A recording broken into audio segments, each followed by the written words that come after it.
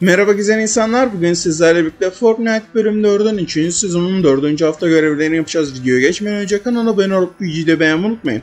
Bir ele geçirme noktasının kontrolünü kazandıktan sonra kontrol evreni kullan görevini yapacağız arkadaşlar. Arkadaşlar buradaki karakterimiz evreni satıyor. Hadi evreni satın alalım.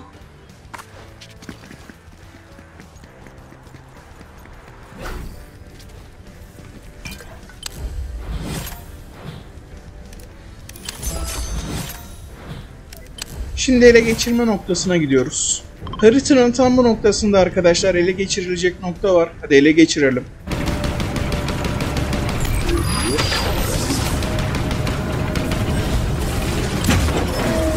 Ve gördüğünüz gibi arkadaşlar görevi hızlı bir şekilde bitirdim. Umarım video işinize yaramıştır ve kanala abone olup videoyu da beğenmeyi unutmazsınız. Esen kalın.